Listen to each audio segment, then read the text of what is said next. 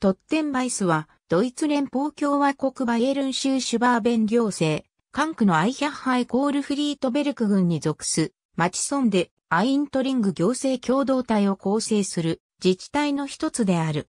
この町は、レヒ川の右岸、アウクスブルクの北東、約 20km に位置する。トッテンバイス。円形はアイントリングこの町は、公式には3つの地区からなる。この町の創設は650年頃のバイエルン人、タトに遡る。トッテンバイスは1033年6月26日の皇帝コンラート2世の贈与証明書に記載されている。トッテンバイスは、バイエルン選定公領のミュンヘン会計局及びアイヒャッハ裁判所に属した。バイエルンの市町村再編の影響により、もともとオーバーバイエルンに属したこの地域は1972年7月1日シュバーベン行政管区に編入された。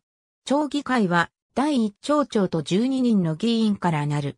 銀字に基部から上向きに長く、大きく、青い三角図形。この中に金の王冠。向かって左は青いウルリ非十字。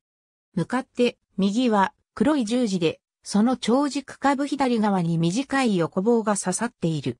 ブルク上市トッテンバイスの風景は1737年から1738年に建設されたバロック建築セウルリヒ、セアフラ教会によって決定づけられている。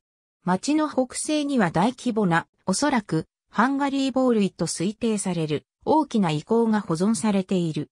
残都集落の上方に中世初期から世紀の防衛施設、残都城市が見られる。バッハ集落の南西にも同じ時代のバッハ城市がある。ザントの西には、ザンダーことアイントリンガー池がある。ありがとうございます。